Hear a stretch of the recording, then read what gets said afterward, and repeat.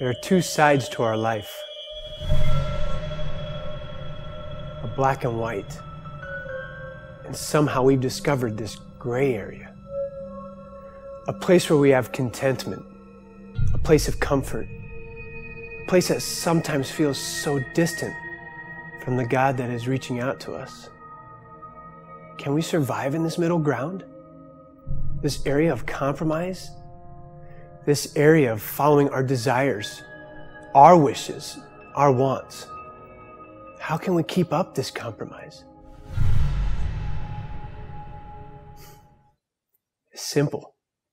We can't. We have to live a life of no compromise.